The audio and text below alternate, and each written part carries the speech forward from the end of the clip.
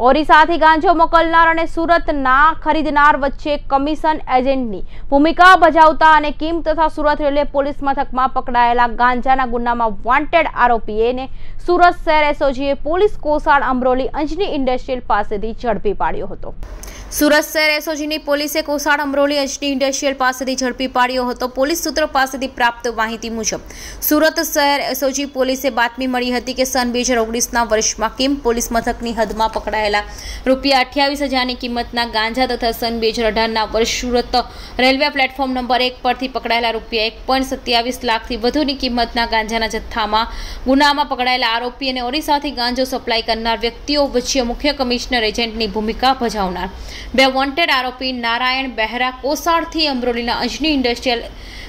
Looms કારખાનામાં કામ કરે છે. જે બાતમીને આધારે સુરત શહેર એસઓજીને પોલીસ તપાસ હાથ ધરી છે. કોસાડ અમરોલી અજની ઇન્ડસ્ટ્રીયલ એસેટની નહેર પાસેથી વોન્ટેડ આરોપી નારાયણ કૃષ્ણા બહેરા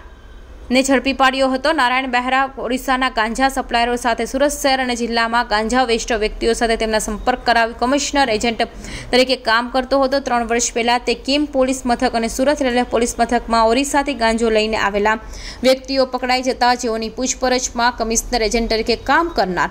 નારાયણ બહેરાની સંડોવણી બહાર આવતા પોલીસે તેને વોન્ટેડ જાહેર કરી શોધખોળ હાથ ધરતા તે સુરત છોડી વતન ઓડિશા ચાલી ગયો હતો અને એક મહિના પહેલાં તે પરત સુરત આવી કમ નજીકના મોટા